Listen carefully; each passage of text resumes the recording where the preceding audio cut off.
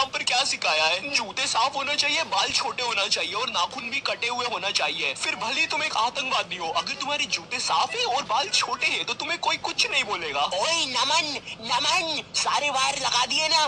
ये अब मज़ा किसी ने प्रिंसिपल ऑफ़िस उड़ा दिया। किसने उड़ाया है? इन दोनों के तो बाल छोटे हैं। तूने उड़ाया है तेरे बाल बड़े हैं। अरे सर लेकिन मैं तो आपके साथ आया अभी। बहुत झूठ बोलता है तू लंबे बाल वाले चल पुलिस पास